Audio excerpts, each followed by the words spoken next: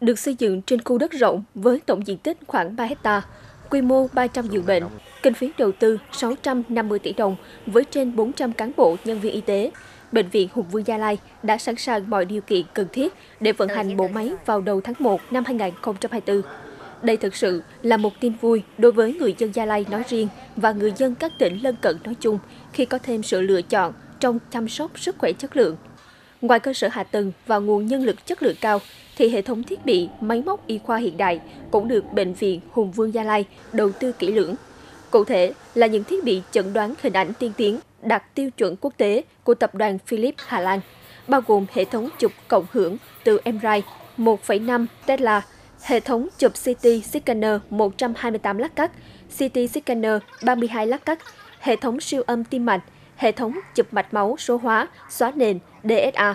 Dự kiến sau khi đi vào hoạt động, bệnh viện sẽ triển khai các chuyên khoa nội, ngoại, sản, nhi, hồi sức cấp cứu, ung bướu, tim mạch, liên chuyên khoa, mắt, tai, mũi họng, răng hàm mặt và hướng đến phát triển năm lĩnh vực mũi nhọn trên cơ sở kết quả đã đạt được trước đó của hệ thống y tế Hùng Vương.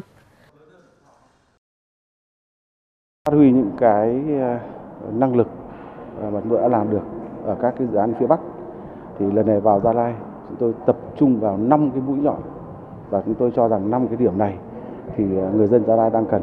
Thứ nhất là cấp cứu ngoại viện, tức là cấp cứu tại hiện trường. Thứ hai là điều trị những bệnh về tim mạch, điều trị những bệnh về ung thư, bệnh không truyền nhiễm.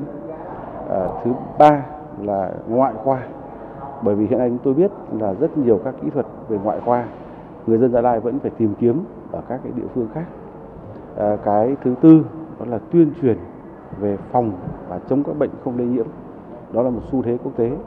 Và cái cuối cùng, cái thứ năm đó là tăng cường cái việc hợp tác. Hợp tác ở đây thì có hai cái mũi nhọn chúng tôi quan tâm. Một là hợp tác trong nước, tức là với các trường đào tạo về y khoa, các bệnh viện lớn ở thành phố Hồ Chí Minh và Hà Nội.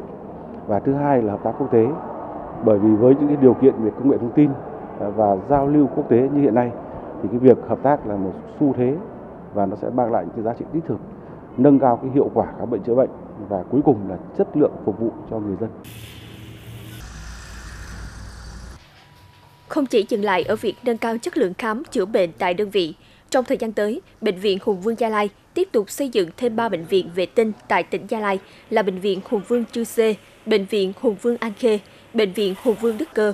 Đồng thời sẽ đẩy mạnh mở rộng công tác khám chữa bệnh cho người dân hai nước bạn Lào và Campuchia.